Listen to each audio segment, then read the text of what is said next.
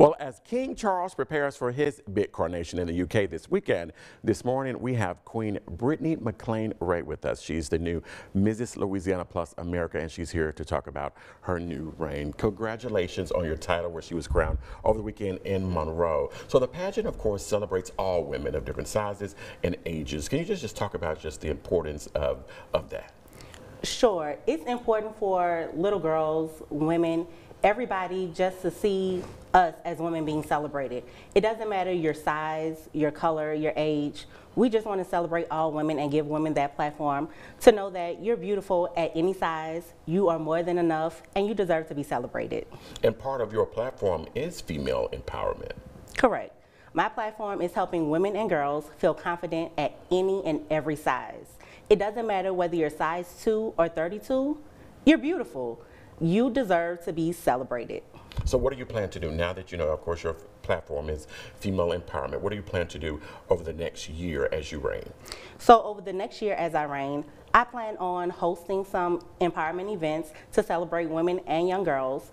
I definitely love to do community service. So I definitely want to reach out to some shelters or some women's organizations to try to help and reach out to them. I love participating in fashion shows and getting the little known women who are not as confident or have some self-esteem issues, get them to participate. Let them get dressed up so that they can feel beautiful on any day of the week. Now, of course, you are Mrs. Louisiana, but there were two other winner, winners that were crowned over the weekend, MS and MIS. Just tell us their title, just a little bit about those women as well.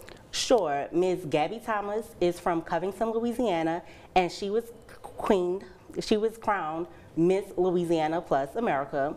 And we have Sybil Guidry, she's from Lafayette, Louisiana, and she was crowned Miss MS Louisiana Plus.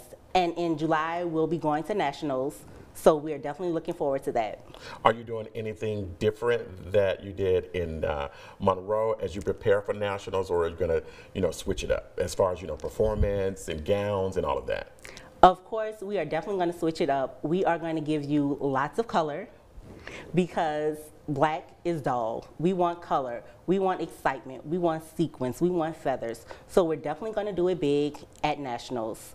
Also, we have one other lady who is queen, Miss Teresa Boykin. She was Mrs. Pelican State. Oh, Mrs. Pelican State. Yes. So where can people go? Because I think you all are raising money to try to uh, go to nationals or during during the effort. So where can people follow you all or learn more about the pageant and follow your social media? So we can be followed on Facebook and Instagram. You can follow Louisiana Plus America.